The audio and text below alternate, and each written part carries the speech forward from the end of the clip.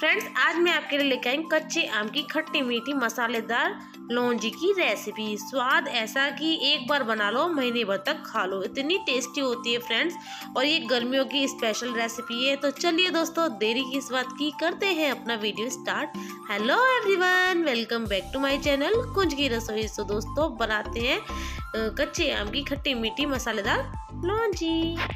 Friends लॉन्जी बनाने के लिए यहाँ पे मैंने छः कच्चे आम ले लिए हैं और मैंने पानी से अच्छे से ये धो लिया है क्योंकि इसमें चेपा लगा होता है तो इसलिए मैंने अच्छे से धो लिए हैं ये। अब क्या करेंगे, इनको छीलते हैं तो सबसे पहले इनका छिक्कल निकालेंगे। सो फ्रेंड्स यहाँ पे पहले मैं इसका ऊपर से डंठल से निकाल दूँगी, क्योंकि इसमें चैपा बहुत होता है। और फिर इस छीलने वाले चाकू से इसको अच्छे से छील लेंगे। ये देखिए, कुछ इस तरीके से। तो चलिए दोस्तों, इसी तरीके से मैं सारे कच्चे आम को छील के तैयार कर लेती हूँ। तो फ्रेंड्स ये लीजिए, सारे कच्चे आम मैंने छील लिए हैं। अब इनकी कटिंग करेंगे। तो जो कटिंग करके ना, इसके अंदर बीज होता है, वो निकाल देंगे हम ये इस तरीके से, और लंबी लंबी इसकी फाँक कर लेंगे। आप शेप कोई सी भी कर सकते हैं, आपकी मर्ज़ी है। तो यहाँ पर इस तरीके से मैं लंबे लंबे इसके पीसेस कर रही हूँ कुछ इस तरीके से। तो चलिए दोस्तों, सारे आम के अच्छे से ऐसे पीस करके तैयार कर लेती हूँ। तो फ्रेंड्स ये लीजिए, बहुत ही अच्छे से मैंने सारी आम की कटिंग कर दी है। और इसको ना दो तीन बार मैंने पानी से अच्छे से वॉश भी कर लिया है। फ्रेंड्स गैस पे मैंने पहले से डेढ़ ग्लास पानी फ्राई पैन में उबाल लिया था और यहाँ पे नमक डाल दिया है, एक चौथाई चम्मच। एक चौथाई चम्मच यहाँ पे हल्दी पाउडर डाल के अच्छे से मिलाएँगे। अब यहाँ पे क्या करेंगे, जो हमने कच्चा आम कट करके रखा था, वो हम इसमें डाल देंगे। यानी कि इस हल्दी और नमक के पानी में हम इसको एक उबाल लगा लेंगे। ज़्यादा नहीं लगाना है, क्योंकि जो कच्चा आम होता है, वो बहुत जल्दी पक जाता है। इसलिए फ्रेंड्स इसको अच्छे से डाल के और मिला के अब इसमें ना एक उबाल लगा लेते हैं लो फ्लेम पे। लीजिए फ्रेंड्स एक उबाल आ चुका है तो मैं आपको दिखा देती हूँ कि जो हमारा कच्चा आम है ना, वो अच्छे से बॉईल हो गया, ये देखिए परफेक्ट तो अब हम फ्लेम को ऑफ़ कर देते हैं और फटाफट से एक स्टिनर में इसको निकाल लेते हैं। अब एक बाउल ले लिया, इसके ऊपर स्टिनर रखेंगे और इसको ना अच्छे से आम को छान लेंगे। सारा पानी नीचे चला जाएगा बाउल में और ये आम ऊपर रह जाएगा स्टिनर में। अब जो पानी होता है ना फ्रेंड्स आप इसको फेंकना मत। आप इसमें चीनी डाल के और इसको काला नमक डाल के और भुना हुआ जीरा डाल के पी सकते हैं, बहुत ही फ़ायदेमंद होता है।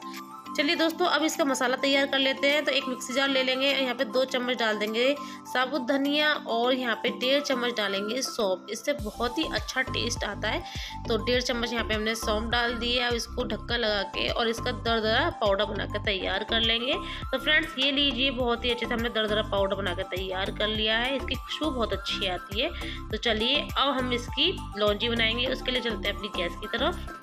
गैस पे कढ़ाई रख दिए, फ्लेम को ऑन कर दिया है और एक चम्मच यहाँ पे डाल देंगे सरसों का तेल। फ्रेंड्स, मैं आपसे यही कहूँगी कि आप जब भी लौंजी बनाएँ तो आप लोहे की कढ़ाई में ही बनाना, बहुत टेस्टी बनती है, स्वाद अलग ही आ जाता है। तो चलिए दोस्तों, पहले हम तेल को अच्छे से गर्म कर लेते हैं। लीजिए फ्रेंड्स, बहुत ही अच्छे से हमारा जो तेल है गर्म होकर तैयार हो चुका है। अब यहाँ पे क्या करेंगे, फ्लेवर के लिए सबसे पहले हींग डाल देंगे और आधी ही चम्मच डाल देंगे यहाँ पे हम जीरा। जीरा डालने के बाद इसको अच्छे से चटकने देंगे फ्रेंड्स और अब यहाँ पे हम क्या करेंगे, थोड़ी सी मेथी डाल डालेंगे, यानी कि पाँच छः मेथी डाल डालना है, इसे स्वाद अच्छा आता है। थोड़ी सी एक पिंच करके सरसों के दाने डाल देंगे और दो पिंच करके यहाँ पे हम कलौजी डाल देंगे और दो मैंने साबुत लाल मिर्ची तोड़ के डाल दी है, इसको भी अच्छे से भून लेंगे और फ्लेम को ऑफ़ कर देंगे क्योंकि हाई फ्लेम हो रही है हमारी तो इसी में ऑफ़ कर दिया मैंने क्योंकि मेरी तेज़ कढ़ाई हो रही है। जो हमने पाउडर बनाया था ना, साबुत धनिया का और उसका सौंप का तो उसको अच्छे से भून लिया डाल के अब यहाँ पे एक चौथे चम्मच डाल देंगे हल्दी पाउडर और आधी चम्मच डाल देंगे लाल मिर्ची पाउडर और आधी चम्मच डाल देंगे हम धनिया पाउडर। और फ्रेंड्स, यहाँ पे थोड़ा सा नमक डाल देंगे। जैसा भी आप नमक खाते हो, इसमें लॉन्जी में आप ऐसा डाल सकते हैं। मैंने अपने अनुसार डाला है। इसको अच्छे से सारे को मसाले को मिला लेंगे। अब यहाँ पे जो आम को उबाला था ना, वो डाल देंगे। डालने के बाद सारे मसाले में अच्छे से मिला लेंगे इसको। इस तरीके से ये देखिए। तो फ्रेंड्स, अब मैं ये लौंजी बनाने वाली हूँ तो इसमें हम पानी भी ऐड करेंगे। पानी आप अपने हिसाब से ऐड कर सकते हैं, कम या ज़्यादा, जैसे भी आप इसकी कंसिस्टेंसी रखना चाहते हो। तो यहाँ पे मैं पूरा एक गिलास भर के पानी डाल दूँगी। तो यहाँ पे पूरा एक गिलास भर के मैंने यहाँ पानी डाल दिया है, इसको अच्छे से मिलाएँगे। ये देखिए, अब यहाँ पे हम मीठे के लिए, आप चाहो तो आप इसमें गुड़ भी डाल सकते हैं, बट यहाँ पे मैं डालूँगी चीनी। तो यहाँ पे मैं करीब चार बड़े चम्मच मैंने चीनी ले लिया है और वो डाल देंगे। डालने के बाद इसको अच्छे से मिला लेंगे। फ्रेंड्स, मिलाने के बाद इसको ना अच्छे से हम लो फ्लेम पे अच्छे से पकाने रख देंगे।